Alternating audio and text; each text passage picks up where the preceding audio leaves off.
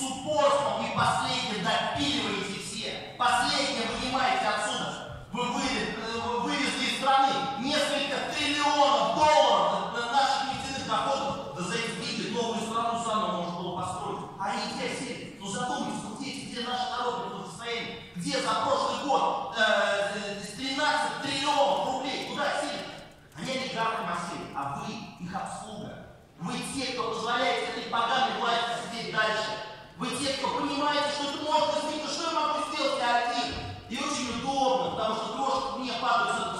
Очень удобно, потому что я по свое получу. И на мой, на мой чуть выше уровень благосостояния, даже чтобы я съездил на какие-то более дешевые города, хватит, как там люди за окном. Да кому какое дело, да?